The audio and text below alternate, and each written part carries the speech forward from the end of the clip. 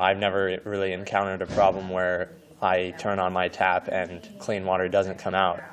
I think being able to work on these projects and understand that so many people lack uh, consistent access to clean drinking water. And so it's important to me because, I mean, clean drinking water is important to life.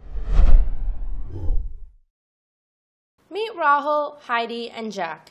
They've dedicated their time and efforts towards projects that better the lives of others. Engineers Without Borders is an opportunity for students here at Cal uh, to apply what they learn in their education and really take that and use it toward community driven projects.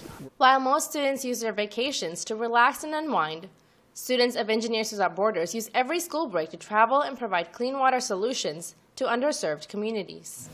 I've gone down to Peru twice to work on the projects, and you know we come in preparing so much for the entire semester. It seems like we have everything worked out, all the kinks have been figured out, and then you know once we get down there, nothing works, and you have to kind of think on your feet and really work from square one.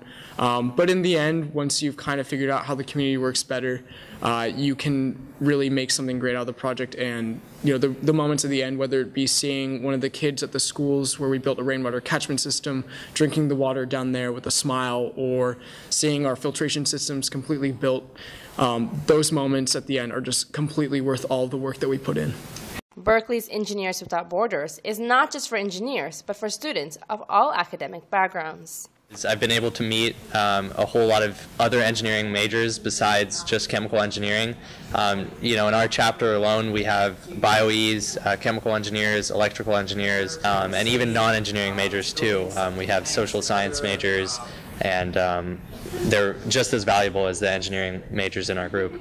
It's one thing to sit in a classroom and learn, but it's something far greater to go out in the field and apply that knowledge. I guess as an undergrad, you don't get to see your you know your drawings and your problem sets be real.